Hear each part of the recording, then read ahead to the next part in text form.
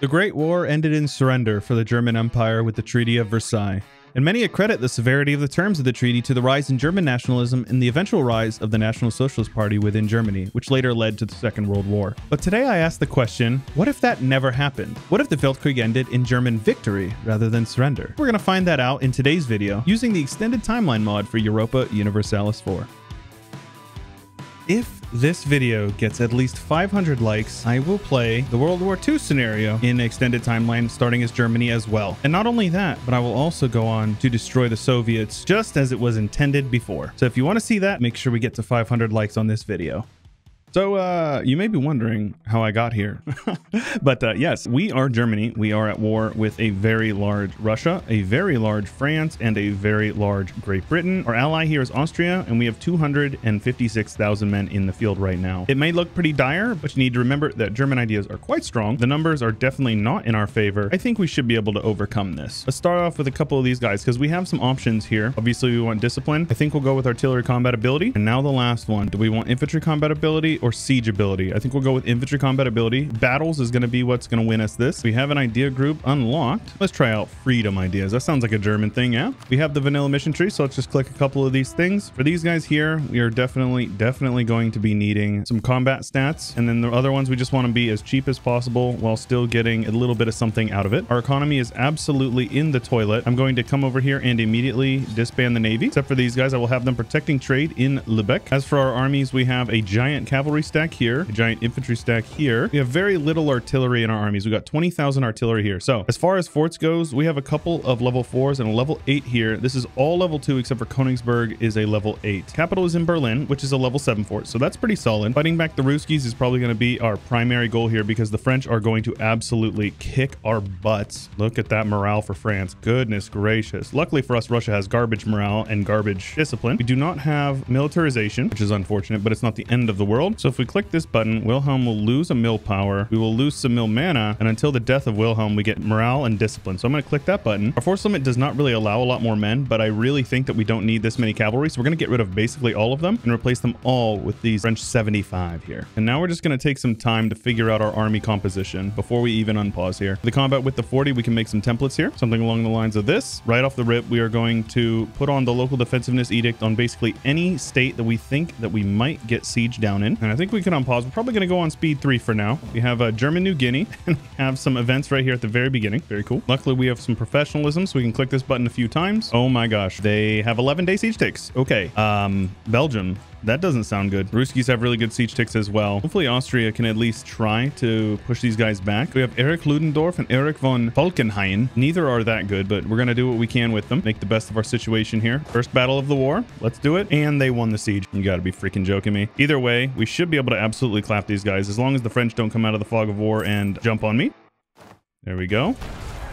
Take that back ASAP. So what I'd like is to have at least two artillery stacks, two major stacks of artillery that we can depend on. And then the rest will just be reinforcements. This stack can handle over here with Erich Ludendorff on the French front. And then it looks like Austria is keeping Russia preoccupied for now, which is really good for us. Yes, all the artillery. Bring it in. I am dreading fighting the French over here. It is going to be an absolute massacre for us. We have our second combat stack over here. This will be the Russian front. The fact that we edge Russia out so much in the morale and discipline front makes me feel quite a bit better about this part of the war. Now, these guys are probably going going to be set to go over to the French front then. We have much less cannons over here, so we're going to need to get more men over there. I really don't think we need the cav. So I'm just going to get rid of these cav and we're going to swap out cannons instead. And if we need to, we can go with mercs as well. That's definitely an option for us. So here we go. 95,000 men in reserve. I think we'll send them mostly over to France here. It looks like the Austrians are going to help us over here on the Russian front. It would be very risky for us to head in and try to make some forward advances into France. So I think what we're going to do is we are going to scorch some forts over here in the hopes of possibly getting France to take a bad fight into our lands. Preserving our manpower early on is going to be very, very important for our successes going forward. I will gladly make some forward advances into Russia, though. Oh my gosh, yeah, these numbers are absolutely terrible. They have 400,000 cavalry. Russia alone has 115,000 cavalry. Luckily, our artillery is slowly growing up in number. You guys have to remember, we are not the war leader here. We are a secondary non-co-belligerent in this war, so we're just going to have to ride it out. We actually have no say in the peace deal either, which is uh, kind of whack, but you know, it is what it is. It, it makes sense. Austria was indeed the one who started the war, so all quiet on the Western Western Front, Eastern Front as well. We're winning some sieges over here in Plock, so hopefully we can push through that pretty quickly. Ruskies are sieging down Austria over here, and they are just letting it happen. Austria's got some armies. I don't know where. There's half their army just chilling over here. Yeah, they got one army in Bavaria standing still here in Regensburg, and then one up here in uh, Czechia. So,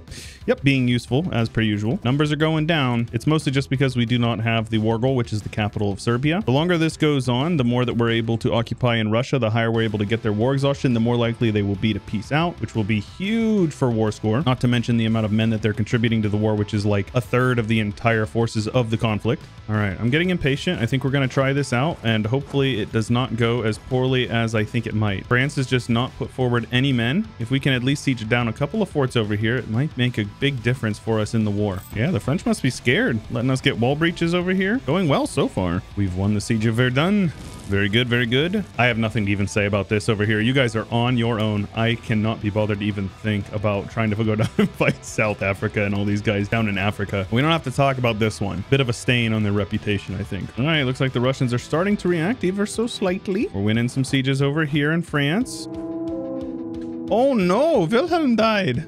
Oh my gosh, our son has died and we are 56 years old. Uh, that is bad news indeed. Yikes. That's, uh, yeah, that could be pretty bad for us. We'll see how things go with that. Look at this guy, this Philippe Lambert guy standing here with a 70, 36, 20 stack. What are you doing? I mean, I'm not going to attack them. That would be very foolish, but uh, I, I don't know why you guys would be standing there. They've taken back Plock. No. All right, we're going to try reloading because the AI is absolutely derping out and they will not move their troops. Yeah, I don't know. These guys are just standing a 100 and some thousand men. All right, these guys are now moving. See if maybe we can wipe out these armies here on Paris. Yes, we can. Now we're going to stand here for a few weeks, hopefully siege down Paris. We might want to actually try to fight them. Would probably be smart for us. The more of their men we destroy in battle, the better. Oh my gosh, what an absolute mess.